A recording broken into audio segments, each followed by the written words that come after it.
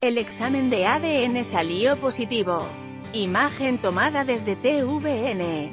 Examen de ADN confirma paternidad de Álvaro Salas y humorista pide que se realice nuevamente autor, AC.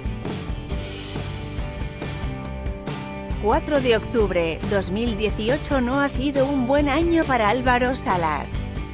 El 9 de julio el reconocido humorista fue demandado por paternidad en el Tribunal de Familia de San Bernardo. Soledad Rodríguez, la demandante, dice tuvo una relación con él y nació un hijo que actualmente tiene 17 años. Para esto hicieron un examen de ADN en el SML que se filtró este miércoles y confirmaría que Salas es el padre del adolescente. Sin embargo, el demandante exigió una nueva prueba que realizaría de forma particular. Esto contó Michael Roldán en programa de farándula de la red, la parte de Álvaro Salas, no conforme con el resultado, y haciendo uso de su derecho legal, pidió una segunda prueba de ADN. Exigió que se realice una segunda prueba de ADN. Por lo tanto, la audiencia que se iba a llevar a cabo este jueves ya no se va a llevar a cabo y es el 16 de octubre cuando se tiene que someter a un nuevo examen de ADN.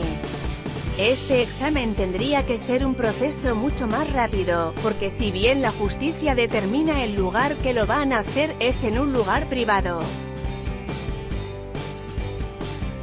Se espera que en una semana aproximadamente estén los resultados. Es un resultado que Álvaro Salas, ya que lo exige, lo tiene que costear por su parte.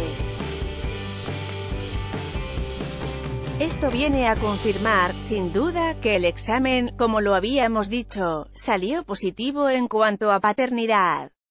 Viene a demostrar que Álvaro Salas está dando palos de ciego. Está buscando qué cosa. Demostrar qué cosa en este momento.